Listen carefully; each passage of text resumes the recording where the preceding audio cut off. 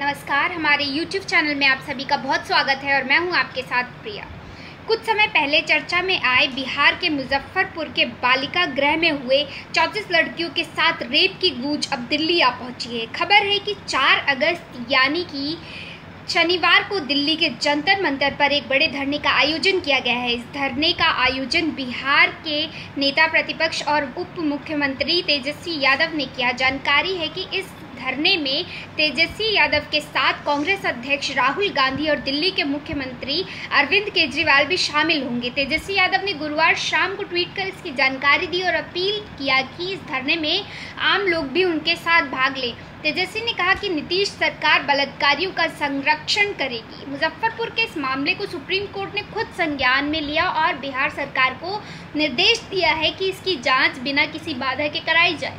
जी हाँ मुजफ्फरपुर बालिका गृह कांड में आज एक नया मोड़ आया जब सुप्रीम कोर्ट ने खुद इस मामले का स्वतः संज्ञान ले लिया। सुप्रीम कोर्ट ने इस मामले को सुओ मोटो कॉग्निजेंस के आधार पर बड़ी बातें स्टेट और स्टेट यानी कि राज्य सरकार, जो नीतीश सरकार है, उसको और केंद्र सरकार को नोटिस के तौर पर भेज दिया।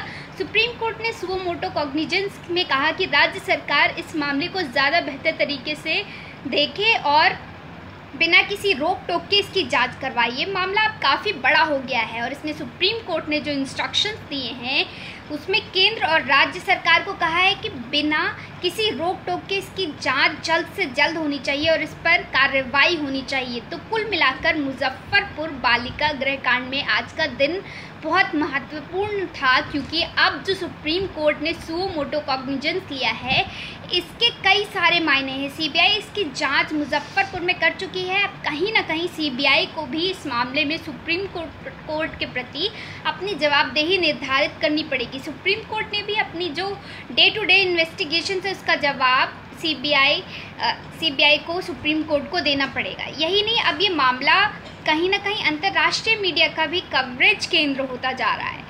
परसों ही अल जजीरिया नाम की मीडिया संस्थान ने इस खबर को रिपोर्ट किया था तो कुल मिलाकर इस मामले में पिछले कुछ समय से जो आरोप प्रत्यारोप का सिलसिला चल रहा है, इसमें चौंतीस बच्चों के साथ रेप की पुष्टि हो चुकी है। अब ये मामला अंतर्राष्ट्रीय भी होता जा रहा है।